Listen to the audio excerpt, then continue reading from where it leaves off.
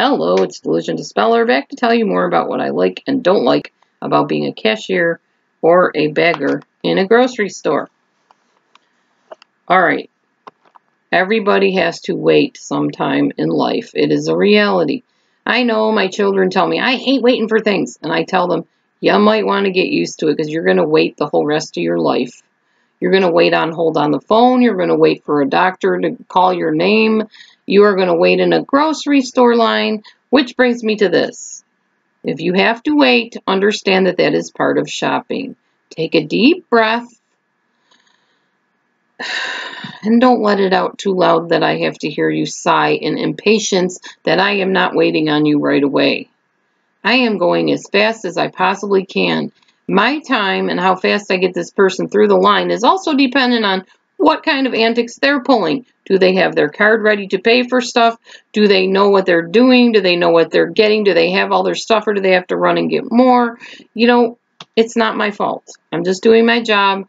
I'm just going ding, ding, ding, ding through the line, trying to get their groceries out and get them out so that I can go on to the next customer. So you sighing or making rude comments while you're in the line is not helping things any, so please don't.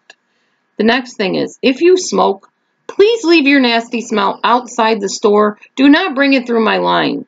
I am allergic to cigarette smoke, and I'm sure I'm not the only cashier that is, or bagger that is. We are highly allergic to smoky smells even on your clothing and your coats and your skin. So if you smoke, spray yourself down with something. Don't smoke right before you come in the store or something. But seriously, it really makes us ill and bothers us if we have an allergic reaction to smoking. All right. And don't get mad at me if I don't know what kind of cigarettes you, you smoke even after you tell me the name or describe the color. I don't smoke. I do not know what kind of cigarettes uh, Marlboro Light with the filter or whatever is. I have to literally go up to the customer service desk in the middle of an order and ask somebody, can you show me where this is? And then you're standing back there upset with me because I don't know what cigarettes you smoke. I don't live with you. I don't watch what pack you grab off the shelf. I have no idea. So please be nice. All right. Um, one of the pet peeves I have is when I am working at the store, I take a bus to work. I don't have a car. And inevitably, one of the managers will tell me, put stuff back. My take your go backs back is what they say before you leave. And clean up your register. Okay, I get cleaning up the register. It makes sense. It's germy. You've been touching all over it. People have been putting their stuff on it. Clean it up. But then make me take back stuff that courtesy was supposed to have taken back already before I leave, which makes me miss my bus. I'm not happy about that. Not cool. All right, secret shoppers. I have yet to have my name on the secret shopper grading board. And yet, every manager I know of the main managers has said, well, make sure you smile, make sure you say thank you, make sure you tell them to come again because it reflects on your secret shopper score just in case the secret shopper comes through. Guess what? I've been there over a year. No secret shoppers have ever graced my line, and yet I look on the secret shopper scoreboard and everybody's name is up there, it seems, but mine and a couple other people. So what, did we just luck out? We don't have the secret shopper capacity or whatever to accommodate them? I don't know. I have yet to have a secret shopper grade me. Oh, which brings me to another point. I got some wonderful favorable grades on those little scorecards they give you in the store. Where are they? I don't see them hanging up. I don't know how I scored. I don't know the pleasant comments people have given about me. I would like to see them so I know what I'm doing right so I can keep doing it right. When I asked the manager, Where's those scorecards that that customer, you know, pointed out that they were filling out for me? Oh, well, um, so-and-so has them, the other manager. Well, are they going to be hung up? Oh, we don't know. You may never see them. What is the point? Why have a scorecard I'm not going to know about? I don't get it. It makes no sense. But I guess that is how things go sometimes. All right. So that's my question. Secret shoppers, where's my score? How am I supposed to improve on things if I don't know what I'm doing wrong? And how am I supposed to feel good about something and continue doing good if I don't know what I'm doing right? Okay, just some quick little things and then I'm done. Things I don't like coming through my line. I mean, inevitably, everybody's got to buy whatever they buy. This doesn't mean I have to like it. Pop. I hate days when pop is on sale. Those suckers are heavy. Those two liters or whatever they are, they are heavy. They are bulky. They fall when I try to put them down the thing. By the way, we don't have a conveyor belt system. Like we have a half a conveyor belt. It comes up to you on the conveyor belt, but you got to slide it down the rest of the shelf.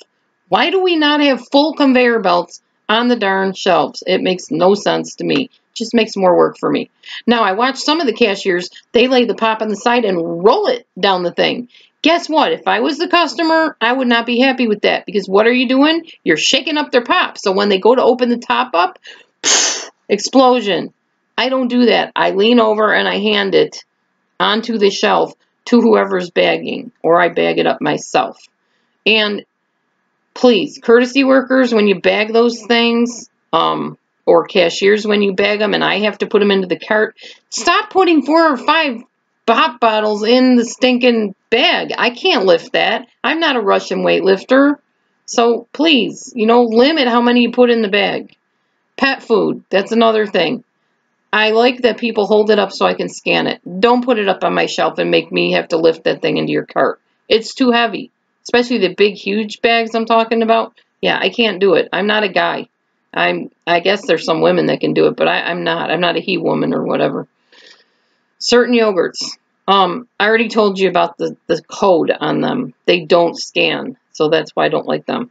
Um, candies that are not bagged. If you go down the candy aisle and you want to put candy up on my shelf, please take the time to put it in a bag. Otherwise, I am chasing little Cadbury eggs all over my conveyor belt and all over the shelf where I work. Please, bag your candies. It just makes it easier for me. Dry ice. I don't do dry ice, people. So, um, yeah, that's what managers are for, and that's why I get the manager. I'm not touching the stuff. I will inevitably burn a hole through my finger or something if I touch a thing of dry ice, because I don't know what I'm doing. Lastly, street salt or sidewalk salt or whatever. Solar salt, I guess, is another name for some kind of salt. I don't know what they are. I don't use them. I have no idea what you're talking about. Um, I wasn't trained in that. You know, what happens if a customer comes through and asks for solar salt? I don't know. I don't know what it is. So I guess you'll have to educate me when you come through my line. Tell me what solar salt is. And I will leave on this note. Secret shoppers, I am ready for my score, okay? And people that have commented on me, I would like to see those comments. All right. Anyhow, I will let y'all go. Thanks for listening to my rant and my praises and whatever it is. It's not that bad working in a grocery store. It's got its pros and its cons. The biggest con is you hurt really bad. Like the day you, you come home from work and probably the next morning. You can barely walk after you get out of bed. I need some really good suggestions from my viewers, you all, about what shoes are the best when you have to stand on your feet for hours at a time. Thanks for watching. I look forward to your comments. God bless and bye.